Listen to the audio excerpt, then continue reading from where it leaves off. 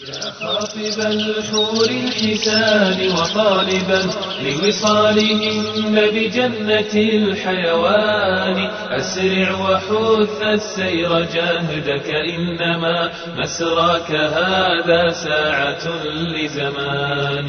هي جنة طابت وطاب نعيمها فنعيمها باق وليس بفاني. وبناؤها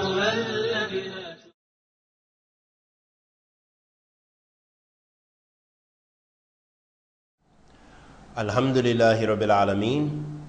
Wa sallallahu sallam ala nabiyyina Muhammad wa ala alihi wa sahbihi wa Continuing on in our lecture regarding the conditions of the testimony of faith, the conditions of the Shahada. We reached the point when we were talking and discussing about the third condition for the testimony of faith, which is acceptance. Acceptance of the meaning of the testimony of faith is one of the critical conditions, and one's heart should be open to the Islamic concept of monotheism. Unfortunately, many people reject this concept, even when they acknowledge that Islam is the truth. And this is exactly what the polytheists did during the time of the Prophet Muhammad sallallahu alaihi wasallam. Allah subhanahu wa ta'ala says in the Quran, إنهم كانوا إذا قيل لهم لا إله إلا الله يستكبرون.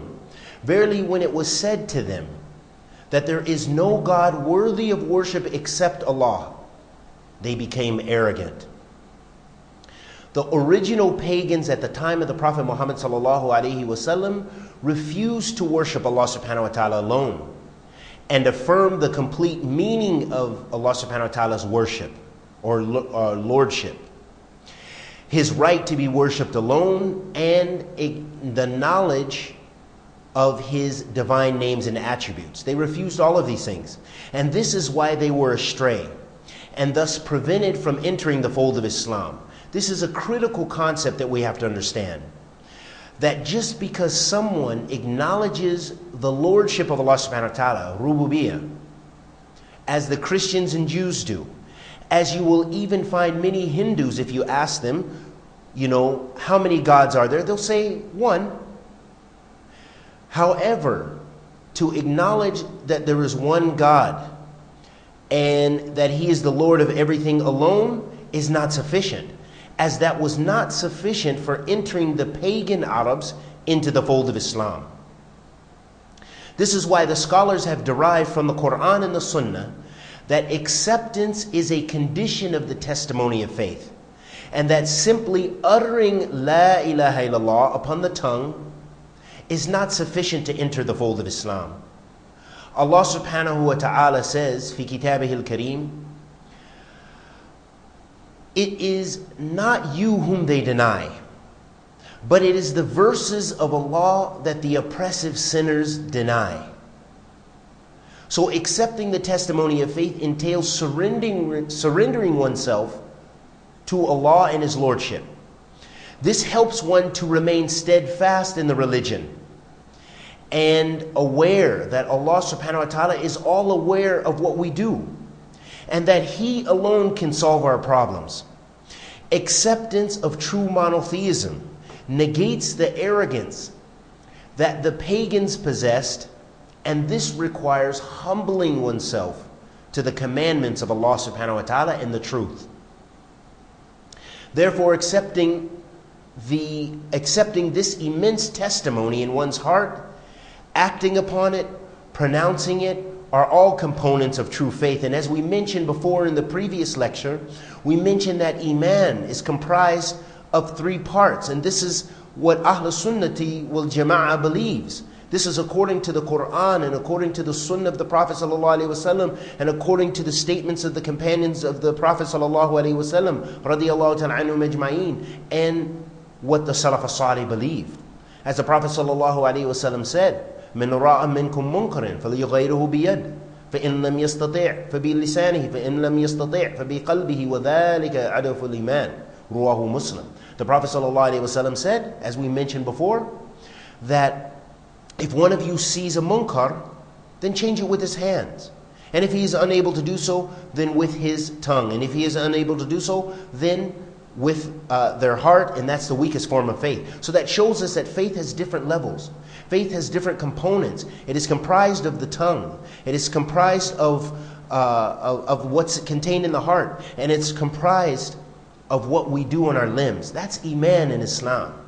And that's why it's not sufficient to just utter the te- testimony of faith when someone says, La ilaha illallah. That's not just, just that without believing in it, without these other conditions that we've mentioned and that we will mention. That's not sufficient. The pagans of Mecca accused the Prophet ﷺ of insanity and witchcraft primarily because they were arrogant and refused to accept the truth, as we were, were affirming that acceptance is a part of the conditions.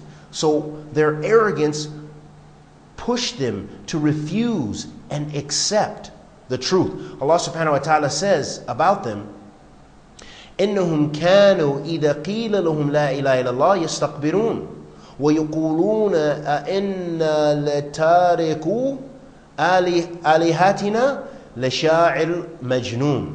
Allah subhanahu wa ta'ala says, Truly, when it was said to them, None has the right to be worshipped but Allah, they puffed themselves up with pride. And they said, are we going to abandon our gods for the sake of a mad poet? The pagans and polytheists rejected the message of Islam and the blessed testimony of faith that enters one into the fold of Islam. And this illustrates that the lack of acceptance of the testimony of faith is open disbelief, especially if it is done out of arrogance and clear rejection of the truth. Sheikh Salih bin Fawzan said uh, regarding the above verse that we mentioned, this is similar to the condition of those who worship graves today. As they say, there is no God worthy of worship except Allah but yet they continuing worship in the graves. And they do not accept the true meaning of there is no God worthy of worship except Allah. La ilaha illallah. Lessons of this condition. Some of the important lessons of this condition of the testimony of faith. Number one, acceptance negates rejection. And number two, arrogance and false pride are not characteristics of a believer. And Islam requires one to humble his or herself to what they know to be true. And third, refusing the testimony of faith is disbelief. So we have to accept our Lord subhanahu wa ta'ala and all that the worship of Him and Him alone, all that it entails, all that La ilaha illallah entails. And may Allah subhanahu wa ta'ala bless us all to accept the haqq and be upon the haqq. And this brings us to the next testimony, or the next condition for the testimony of faith, which is truthfulness. Truthfulness is the fourth condition of the testimony of faith, and it requires sincerity from the one who utters it, and that they are truthful and compliant when they testify to Allah subhanahu wa ta'ala's oneness. Allah tabarak wa ta'ala says uh, fi kitabi al-kareem, alif lam mim, do people think that they will be left alone because they say we believe and will not be tested? And indeed we tested those who were before them and Allah will certainly make it known the truth of those who are true. And will certainly make it known the falsehood of those who are liars although Allah knows all that before putting them to test. Al Kharisi said about this verse, he said, That is the way of Allah subhanahu wa ta'ala, Allah the Almighty. This is the sunnah Allah regarding those communities that came before us. Therefore, the one who is truthful in his speech becomes firm when trials and tests occur, similar to a mountain standing vertical and firmly rooted. The liar in his call quickly changes his position and regresses from his original goal from the pressure of tribulations and tests. So trials distinguish the truthful from the liar and the believer from the hypocrite.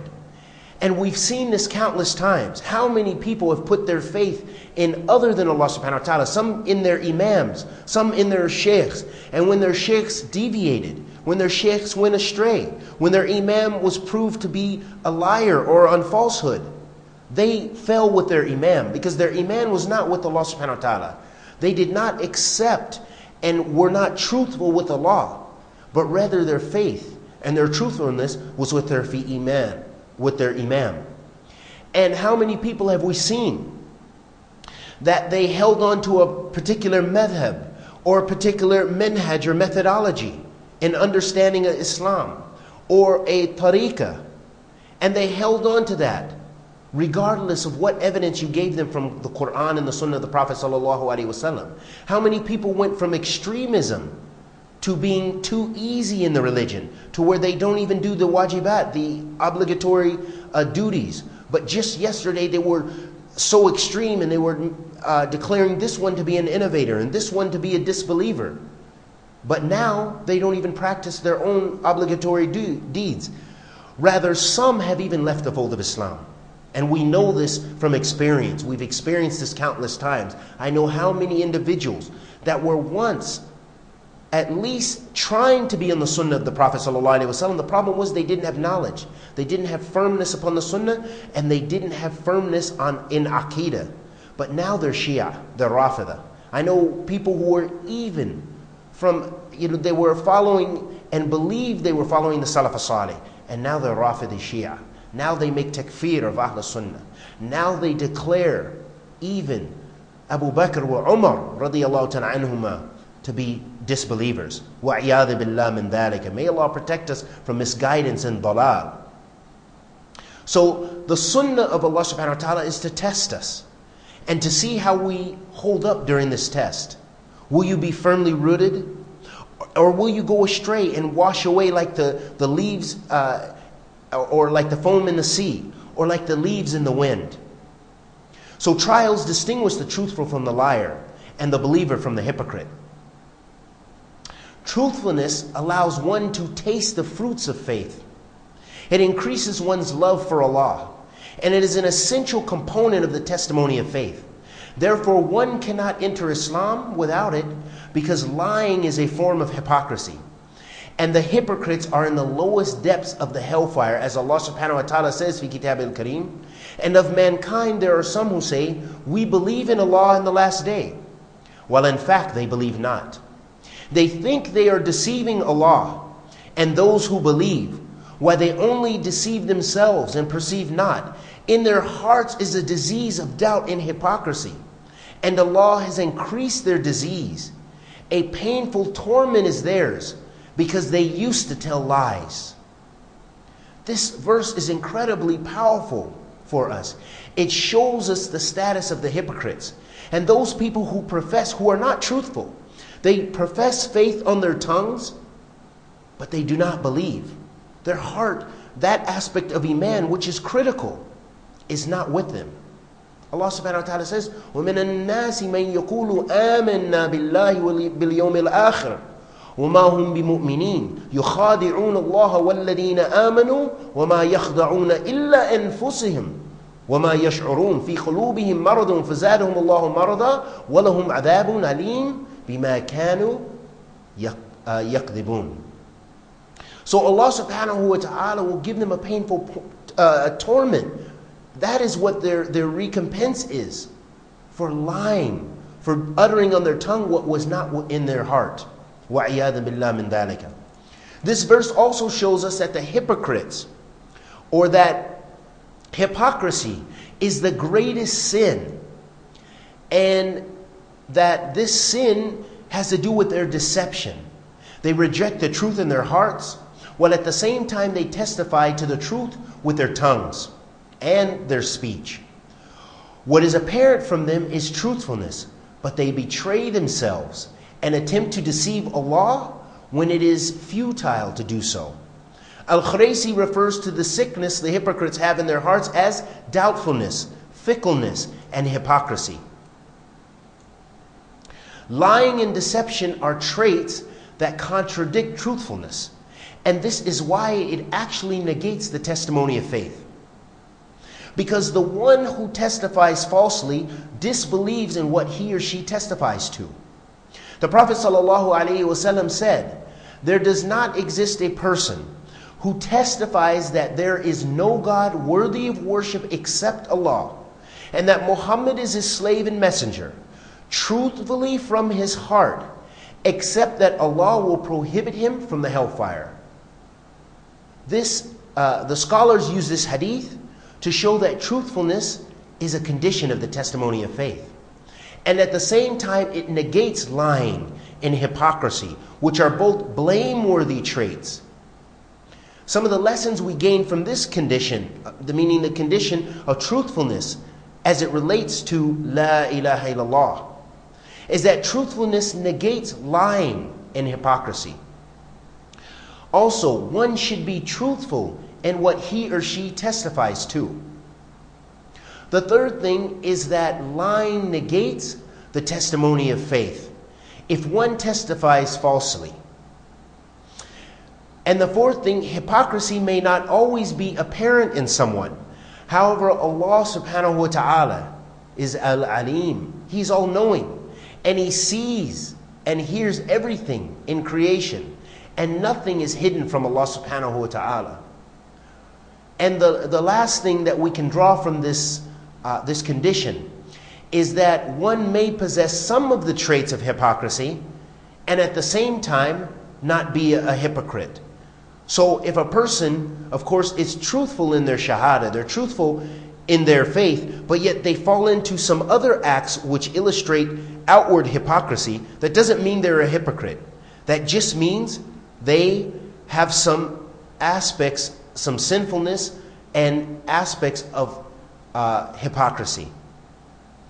The next condition of the testimony of faith is love which is imperative that we have love for Allah subhanahu wa ta'ala, the one who created us, the one who gives us our rizq, the one who provides for our families, the one who gives us families, the one who gives us victory, the one who, who helps us and, and, and blesses us and gave us this divine purpose, which is to worship Him in Him subhanahu wa ta'ala alone. As Allah subhanahu wa ta'ala says, في كتابه الكريم, وَمَا خَلَقْتُ الْجِنَّ وَالْإِنسَ إِلَّا لِيَعْبُدُونَ Allah subhanahu wa ta'ala makes clear for us the purpose of life, that He created us that I have not created mankind and jinn except for the purpose of worshiping me.